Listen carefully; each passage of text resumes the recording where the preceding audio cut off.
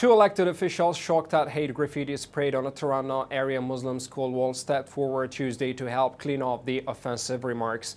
The first thing I thought it's I cannot let the kids see this tomorrow morning. It's disgusting.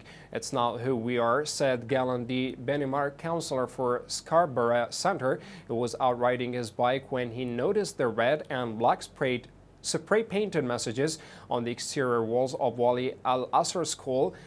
East Campus on Torrance Road near Eglinton Avenue East and McCowan Road, uh, Scarborough.